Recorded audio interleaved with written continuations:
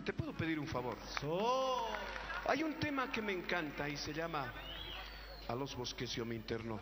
¿Me lo puedes cantar un poquito? ¿Puedo pedir tu guitarra? ¿Sí, por favor? La guitarra, pues. Ahí está. Está la guitarra. Tienes... ahí está. El mismo, el, el nuevo componente de los sabiandinas. Ahí está. Ahí está. Eso es. A ver, hazme un arpegio del tema, a ver, hermano, a ver. Hazme un arpegio. A los bosques yo me interno, a echar mis penas llorando.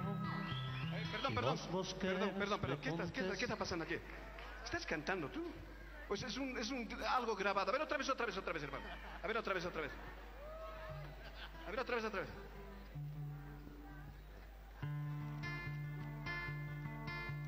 A los bosques yo me interno, echar mis penas llorando. A ver, a ver. ¿Qué está pasando, maestro? ¿Qué está sucediendo? Algo. A ver, la persona que está ahí, no sé si es una persona o es una grabación. A ver, buenas tardes, señor. Buenas tardes. Perdón, ¿con quién estoy hablando? Habla con Vico Laura. Ah, Vico, Laura. ¿Tú cuál, cuál es tu nombre? Gerardo Arias. ¿Con quién estoy hablando? Vico Laura. A ver, que pase ese tal Vico Laura, por favor. A ver, ¿dónde está? ¿Está aquí o es una grabación? A ver, ¿dónde está? ¡Ah, Vico! Te presento a tu clon en voz, hermano. ¿Qué te parece?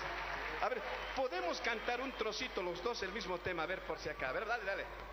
Tú haces una parte primero y después tú, ¿de acuerdo? A ver. A los bosques yo me interno, a echar mis penas llorando. Y los bosques me contestan, lo que has hecho estás pagando. Ay, ¿cómo quieres que tan pronto olvide el mal que me has hecho? Muy bien. De rato en rato me tocó el pecho, la herida me duele más y más. ¡Muy bien! ¿Qué les parece, señores? ¿Qué tal? Vico, a ver, ¿desde cuándo cantas así? ¿Cómo te salió? A ver, contame. Bueno, antes quiero saludar a todos los maestros de Sabia Andina, Oscar, Rafael.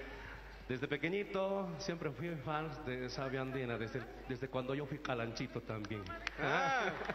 bueno, si no hubiera sido Rafael, creo que hubiera hecho mi grupo folclórico. Bueno, me fui a la música tropical. y una vez estuvimos en el cumpleaños de Don Adolfo compartiendo y todo el mundo cantaba sus temas. Yo puse a cantarme suavecito el mismo tema, Los Bosques, y me dijo, no, esto tiene que ser. Después de un año creo que se está haciendo realidad y una realidad de mi sueño. Muchas gracias, maestros, y muchas gracias a toda la gente. Muchas gracias.